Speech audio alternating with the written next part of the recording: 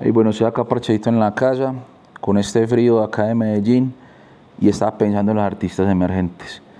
Y pensé en darles una estrategia para todos los artistas que están en desarrollo para que se organicen bien con su proyecto. La estrategia se llama la 633. ¿De qué consta la 633?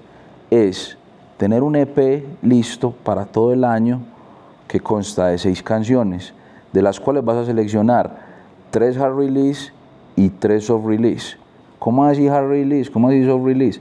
Hard release son las canciones principales que tú vas a promocionar, o sea, las fuertes. Y los soft release son las canciones intermedias que no requieren una, una inversión alta, sino que simplemente van a ir ambientando tus lanzamientos principales.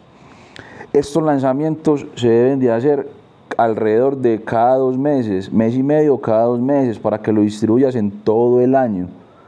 Y el intermedio va a ser con los soft release. Entonces, a, las, a los hard release, a las tres hard release, les haces video a cada una.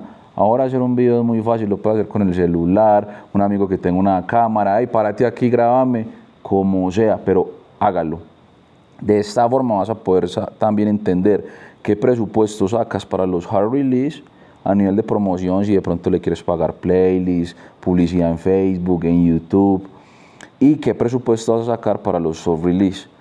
Ahí te vas a dar cuenta cómo, según la estructura que tuvo tu plan de lanzamientos todo el año, funcionó a través de las métricas, si fue rentable, si no fue rentable o cómo puedes seguirlo mejorando.